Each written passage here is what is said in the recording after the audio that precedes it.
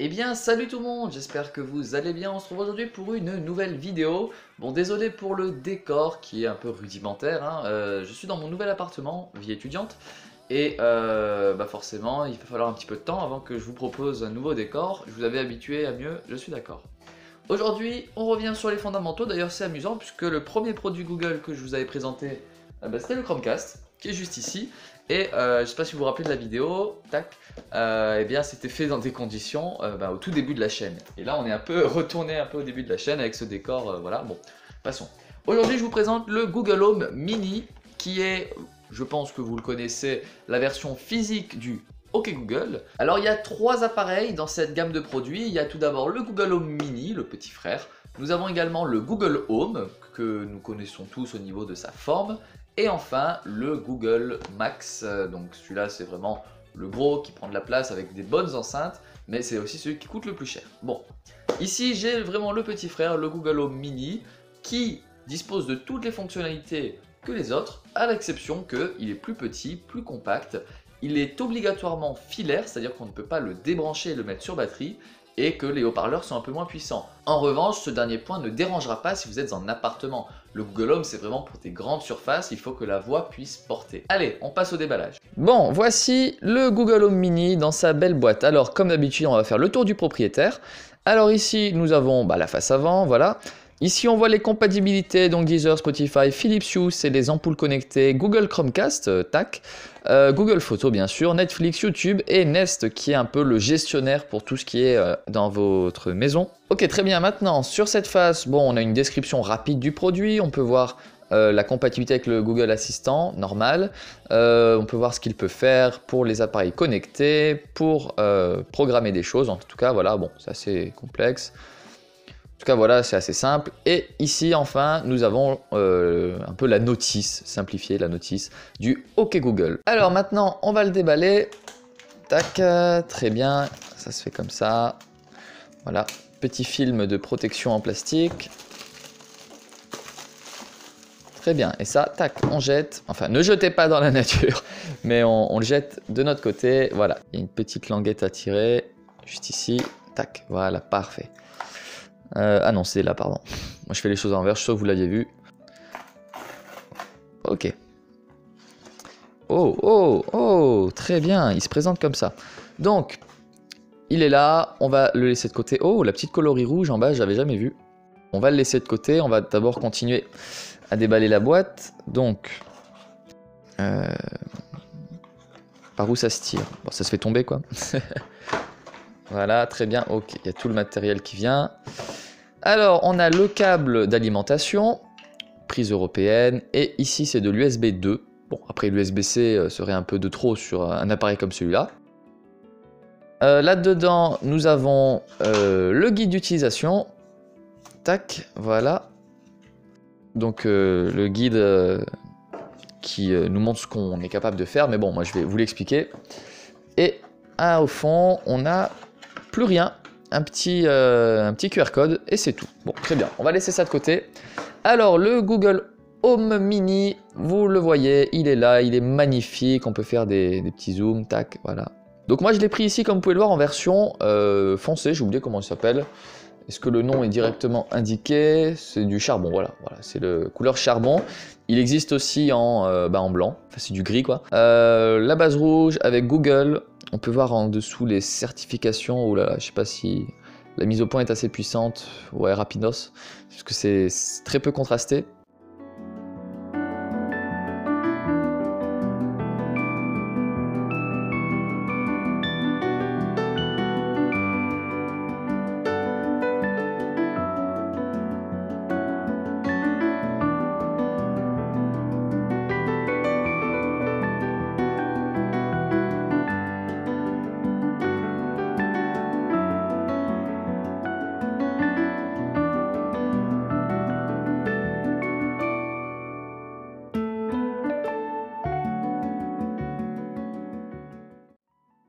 Au niveau des connectivités, bon forcément le câble d'alimentation qui vient se brancher juste ici comme vous l'avez compris. Ici on peut désactiver ou activer euh, le, microphone pour euh, oui ou non que l'appareil nous écoute. Donc si jamais vous recevez des gens que vous avez besoin de parler des affaires secrètes du KGB, eh bien je pense que, euh, bon voilà, on décode bien sûr, mais euh, c'est toujours pratique de pouvoir le mettre en silencieux si jamais vous en avez envie. Euh, voilà, le câble d'alimentation, il n'y a pas de grand chose de plus à dire. Voilà, c'est l'unboxing le plus simple du monde. Maintenant, il faut l'allumer. C'est parti. Ok, c'est bon, je suis allé brancher le câble. Ici, on va quand même rapidement lire ce qu'il nous dit. Alors, découvrez Google Home Mini à l'intérieur.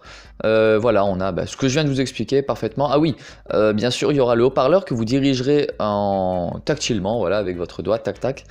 Euh, tout se fait comme ça. Et à l'intérieur, bon, on a encore des, idées de choses à dire en tout cas. Mais une alarme, mais des sons relaxants, bonjour, donne-moi des heures, machin.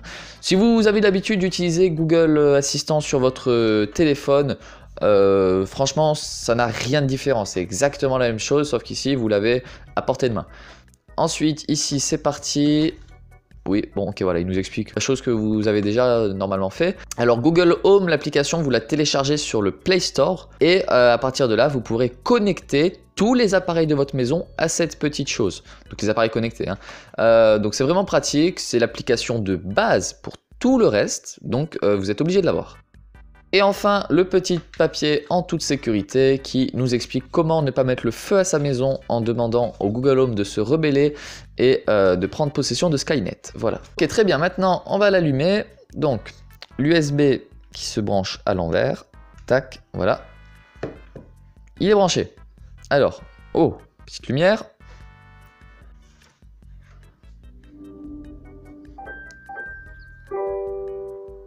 Voilà, petit son, vous l'avez entendu. Bienvenue dans Google Home. Pour commencer, téléchargez l'application Google Home sur votre téléphone ou votre tablette. Très bien. Euh, le fait est que l'application est sur le téléphone qui filme, donc on se retrouve après. Et on se retrouve, alors euh, on est quelques jours après, vous l'avez remarqué, euh, petit changement au niveau de la coupe, c'est normal, j'ai dû attendre que le réseau arrive chez moi, j'avais pas internet. Donc on a ici le petit Google, ok Google, raconte-moi une blague. Une blague C'est parti. Monsieur et Madame Stickey ont une fille. Comment s'appelle-t-elle? Sophie, car sophistiquée. Bon voilà, on va pas utiliser Google Assistant uniquement pour ça, mais par exemple on peut demander Ok Google, il est quelle heure? Il est 20h44. Voilà, il est 20h44, ou par exemple Ok Google, éteins la lumière. Bon, ça se voit pas forcément puisque j'ai le gros spot, mais les lumières que j'ai à ma gauche se sont éteintes. Ok Google, rallume les lumières.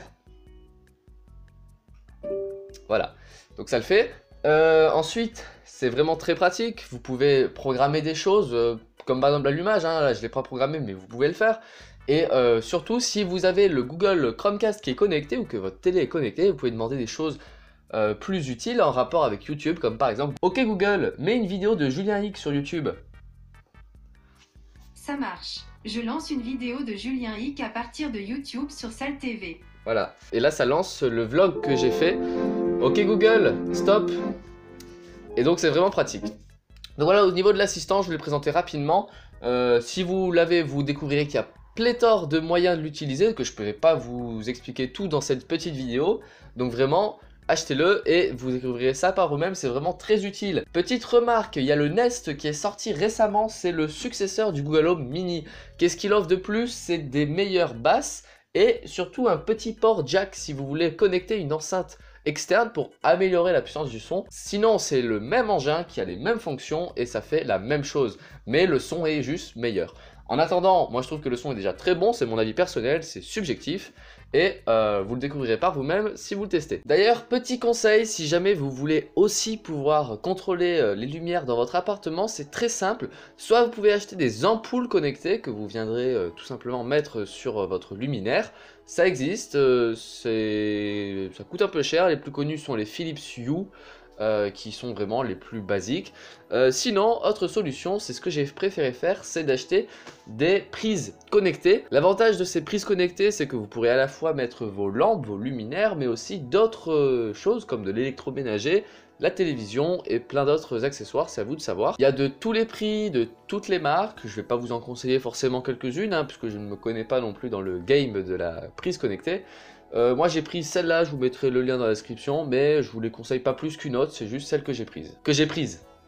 Ouais, bon, je suis à peu près au même niveau qu'elle. Hein. Je vous fais un tout petit tutoriel pour utiliser ces prises connectées, c'est très simple, vous les insérez dans une des prises murales de votre appartement, maison. Ensuite, vous viendrez appuyer sur ce bouton qui est commun à toutes les prises. Vous aurez directement euh, votre routeur qui va reconnaître la prise, vous irez sur l'application Google Home pour pouvoir la renseigner et euh, vous pourrez ensuite l'appairer à euh, cet appareil. Ça paraît très compliqué comme ça, mais ça se fait très rapidement, c'est très intuitif. Et après, du coup, vous pouvez contrôler la prise à la voix et euh, c'est pratique. Et ce qui est vraiment pratique, c'est que par exemple, quand on rentre le soir, on a juste à crier « Ok Google, allume euh, la lumière », donc tais-toi, et elle va euh, directement les allumer sans qu'on ait besoin de venir appuyer sur l'interrupteur qui pour ma part est situé à l'autre bout de, de la pièce. Allez, Merci beaucoup à vous tous de m'avoir regardé, j'espère que cette vidéo vous a plu, vous a été très utile. On se retrouve très bientôt, et sur ce je vous dis bye bye